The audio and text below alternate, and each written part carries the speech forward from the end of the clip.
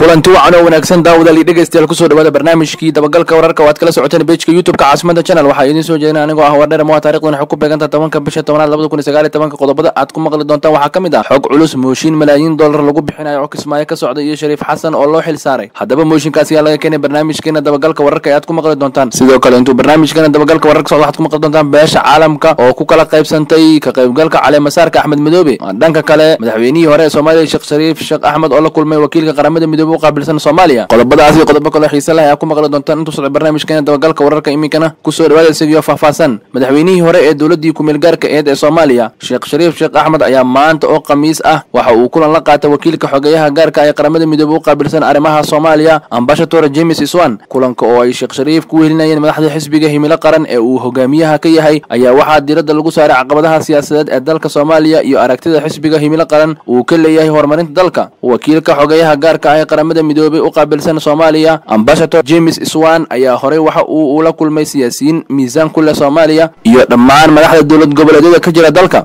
Daawadali dhegeystayaal welina waxaan kuguda jirnaa qeybihii hore barnaamijkeena dabagalka wararka iminkana qodobka xiga haddii aynu u gudubna waxa uu noqonayaa. Iyada oo diyaargarowgii ugu dambeeyey loogu jiro xafladda caleemasaarka madaxweynaha jubbaland axmed maxamed islaam axmed madoobe ayaa waxaa soo ifbaxaya in xubnaha beesha caalamka ay ku kala qaybsameen ka qaybgalkeeda. Wararka ayaa daboolka ka qaadaya in safiirada waddamada qaarkood ay sheegeen in aysan ka qaybgeli doonin halka kuwo kale ay gebi ahaanba ka soo horjeesteen arrintaasi taasi oo khilaaf culus dhalisay. Ila wareedyo ayaa sheegaya in danjiriyaasha diiday ay yihiin kuwa taageersan xukuumadda federaalka mas'uuliyiin dhowr ah oo ay ku jiraan madaxweynayaashii hore ee dalka sheekh shariif sheekh axmed xasan sheekh maxamuud iyo xubno kale ayaa ka soo muuqanaya wafuudda ku qulqulaya caasimada kumeelgaarka ee jubbaland. Waxaa kaga sii horeeyey madaxweynaha puntland mudane saciid cabdulaahi deni iyo senator cabdiraxmaan faroole kuwaasi oo aad u taageersan axmed madoobe diidayna dalab uga yimid villa soomaaliya. Xafladda ayaa waxaa la filayaa in ay qabsanto maalinta sabtida ah ee toddobaadkan iyada oo amniga aad loo adkeeyay islamarkaana laga feejigan yahay iskuday walba oo qalqal gelinaya ammaanka. Daawadali dhegeystayaal waxaan isla soo gaarnay qaybihii dambe ee barnaamijkeena dabagalka wararka iminkan qodobka xiga waxa uu noqonayaa mooshin xilka qaadis farmaajo oo lagu diyaarinayo kismaayo iyo shariif xasan oo arrintaas loo xil saaray. Magaalada kismaayo ayaa waxaa socda abaabulka mooshin ka dhan ah madaxweynaha soomaaliya iyo sidoo kale wasiirka wasaaradda gaadiidka iyo duulista hawada ee xukuumadda soomaaliya maxamed cabdulaahi salaad omar. Wararka naga soo gaaray magaalada muqdisho ee caasimada soomaaliya ayaa waxay sheegayaan in mooshin laga gudbiyey wasiir ka tirsan xukuumadda uu hogaamiyey ra'iisul wasaare xasan cali kheyre mooshinka ayaa waxaa laga gudbiyey wasiirka wasaaradda gaadiidka iyo duulista hawada ee xukuumadda soomaaliya maxamed cabdulaahi salaad omar xildhibaan maxamed idriis iyo qaar ka tirsan xildhibaanada baarlamaanka federaalk soomaaliya ayaa mooshinkan u gudbiyey guddoonka sare ee baarlamaanka soomaaliya. Dhinaca kale waxaa socda abaabulka mooshin ka dhan ah madaxweynaha soomaaliya kaasi oo ay wadaan xildhibaano badan oo ku jira xisbiyada mucaaradka dalka iyo sidoo kale ay wadaan qaar ka mida madaxweynayaashii hore maamul goboleedyada koonfur galbeed iyo galmudug. Xog aan helna ayaa sheegay in shariif xasan sheekh aadan loo xil saaray arrinta mooshinka madaxweynaha lama lamana oga sida uu ku socon doono mooshinkaasi kulamada ugu horreeya ee kalfadhiga lixaad baarlamaanka soomaaliya oo maanta furmay ayay sheegeen xildhibaanada gudbiyey mooshinka in lagaga doodi doono. Daawadali dhegeystayaal waxaan isla soo gaarnay qaybihii dambe ee barnaamijkeena dabagalka wararka iminkana waxaan warbixin kaga helnaa qaar ka mid a wafdi ka socda wasaaradaha jubbaland oo kormeer ku tagay deegaanka cabdalla biroole ee dhowaan laga xoreeyey ururka al-shabaab mar ay dadka deegaanka la hadlayeen hadalladoodii waxaa ka mid ah wafdi ay horkacayaan wasiiro ayaa soo gaaray deegaanka cabdilla biroole ee galbeedka magaalada kismaayo. Wafdi ayaa soo maray qaar ka mida deegaanada u dhexeeya cabdilla biroole iyo kismaayo waxayna inta badan soo indheindheeyeen guud ahaan deegaanada galbeedka kaga aadeen magaalada kismaayo. Wafdigan oo isugu jiray wasiirka cadaalada garsoorka iyo arrimaha diinta jubbaland wasiirka xanaanada xoolaha jubbaland xildhibaano agaasimayaal iyo senator iftiin xasan baasto oo ka tirsan aqalka sare ee baarlamaanka federaalk soomaaliya ugu horeyn taliyaha guutada koowaad ee ciidanka daraawiishta jubbaland ayaa ku soo dhaweeyey wafdiga taliska deegaanka waxauna uga warbixiyey xaalada guud ee deegaanka. Difaaceedu uu saa u adag yahay weyo aan xoog yani lagu muquuniyey cadowga in difaacan deegaankan mataqaanay lagaga adkaado. Caqabada haddayna jirin oo ciidamahan la fataxana aybaa horey u gudbi lahaayeeno deegaanka bulaxaaji mar iyo lagaha iyo lagaha silsilada ilaa kaansaroon maxaanku idhahdaye baqdaad iyo buriya lagahan qooqaan iyo dhowliga madaxa la galaa haddii wayaantaa laga saari lahaa nimanka deegaanku iyagaa isku filnaan lahaa iyagaa shaqaysan lahaa ganacsigu furmi lahaa wax walba.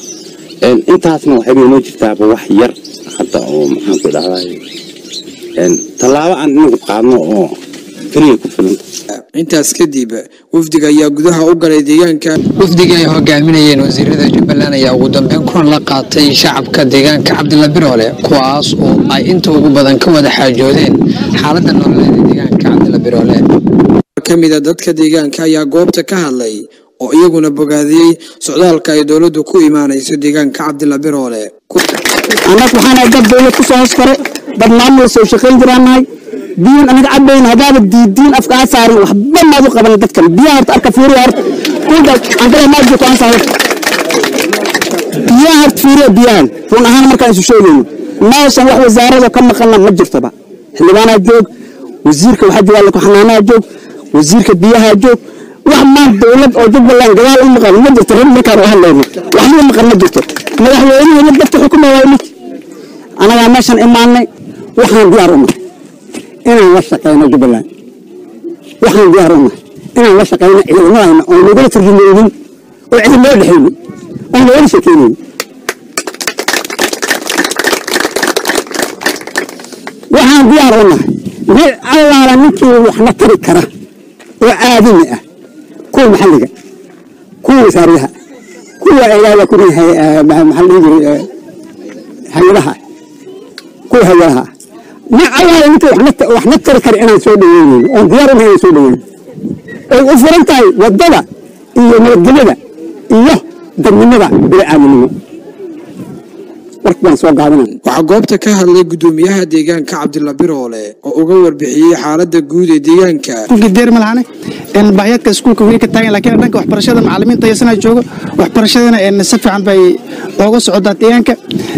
Mida xigto madaxda noo imaatay maanta aad baan ugu faraxsanahay waana soo dhawaynaynaa waxaan aaminsanahay inay noqdaan kuwii dalka iyo dadka wax ka bedel laha imaashadoona wasiirka cadaaladda iyo garsoorka arrimaha diinta jubbaland mudane maxamed yuusuf cumar iyo wasiirka xanaanada xoolaha maxamed xasan maxamed ayaa bulshada goobta kula hadlay waxayna uga mahadceliyeen soo dhoweynta qiimaha badan isaga oo dhanka kale u ballanqaaday in ay soo gaarsiin doonaan agabyo kala duwan oo ay noloshooda ku kaabaan. Intaa kadib runtii arrintan aan u soconno waxay tahay dhowr qodob ay iskugu jirtaa inaan soo booqanno ka mas'uul ahaan deegaanka baayaha ka jirna aan ogaano annagoo garanayna intii hadda kahor laga qabtay waxa dhimanba aan inta badan xog nagu kala mooga laakiin aan indhahayna ku soo aragno.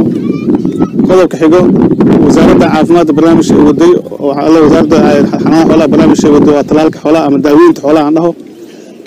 Saasoo kale wasaaradda cadaaladda oo ugu talagashay inay maanta fariisimaheeda ama wakiilaha wasaaradda cadaaladda ee halkan dowlgoboodka jubbaland u qaabilsan lahay magaalada biroole inay ama magacaawdo ama ballansato ama barnaamijkaas hadda la diyaariyo agaasimihii guuda nala socda asagaa insha allah noo faahfaahin doona. Waxaan wakiil idin kaga nahay maamulka jubbaland innagoo dhan maamulka jubbaland ku jirna senatarka waa senatarkii jubbaland senatarada jubbaland.